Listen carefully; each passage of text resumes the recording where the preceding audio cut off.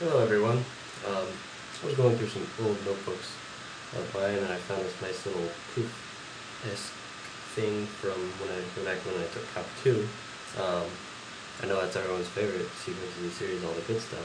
Yeah, everyone hates it. I didn't like it too much. It'll be fun when I had in my reals class when I have to do all that stuff again. Um, but yeah. Uh, basically, this is a nice little thing. If if you forgot the derivative of uh, you know an arc function, so like arctangent, arcsine, arc cosecant, whatever, you can derive it yourself.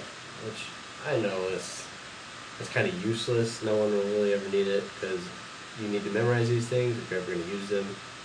Believe me, it's nice to just know that crap off the top of your head. But I really like this little type of proof. So, um, so say we forgot the derivative of arctangent. So we're really not sure, like, oh, I know it's 1 over something, but I don't know. So uh, let's just start. We're going to say, uh, we're going to solve for some variable x. So we're saying we have x here. Uh, okay, good, you can see that on the camera. We have x here. And oh, that has to equal, we have to have incorporate arctangent somewhere, so tangent of the arc tangent of x gives us x, that's legitimate. Where x, you know, you got all real numbers. Um, so yeah, that's just what we need to start with. So you need to uh, differentiate to solve this, obviously. So let's go ahead and do the derivative of this whole thing. So take derivative with respect to x x by dx is 1. Now this is a good old chain rule. So we have secant squared of the with the inside. Use our chain rule, and now, oh, derivative of arctangent. Well, hey, we don't know what that is. So, well, we still have to do this. So let's just say d dx arctangent of x. That's legitimate. We just don't know what it is. So, um, yeah, we want to solve for that, so let's move this little thing over. So I'm going to go ahead and rewrite this on the other side just because.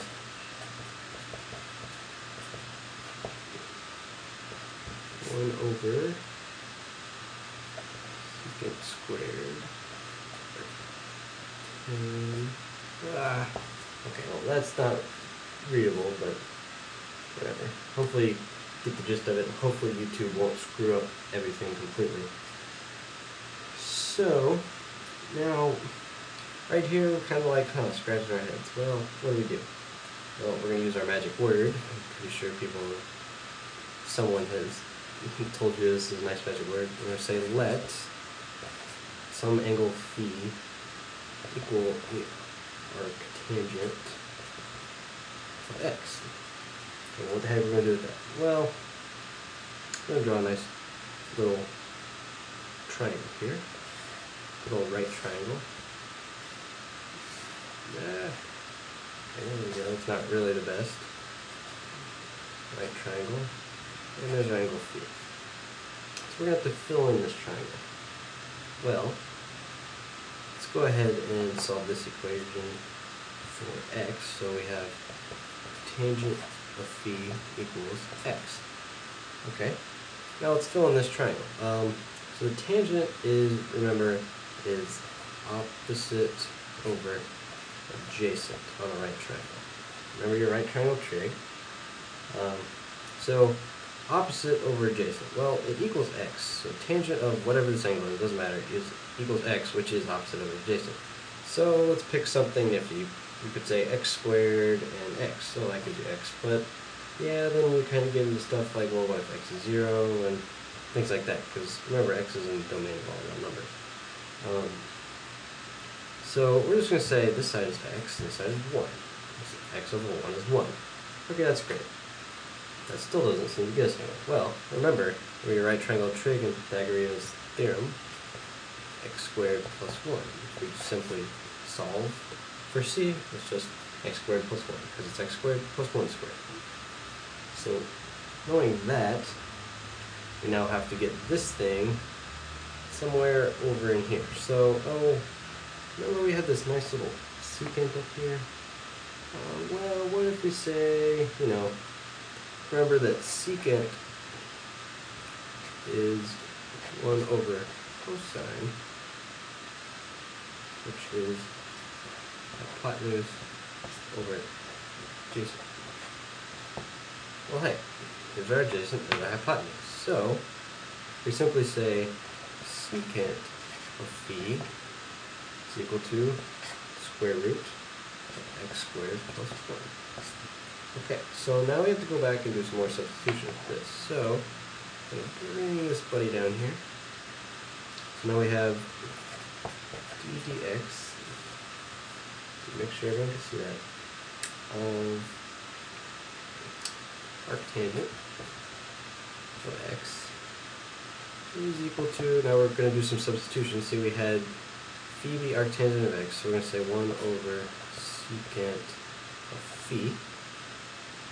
And then now we have this thing here, and we have d dx of arctan x is equal to 1 over root of x squared plus 1. But, sorry, I messed up here. Sorry, this is secant squared of phi. So this whole thing is squared. So, therefore, d dx, the derivative of arc tangent of x with respect to x is 1 over x squared plus 1. That is your answer. Minus my little snafu of not copying. um, I squared up there. So, you can do that with any trig function. Um, I could do it again with arcsine or whatever. Just gotta, basically you just gotta know how to finagle, or just, this basically it's this right here. You just gotta do the derivative, finagle a little, solve for it, and then do right triangle trig, and you can get your answer.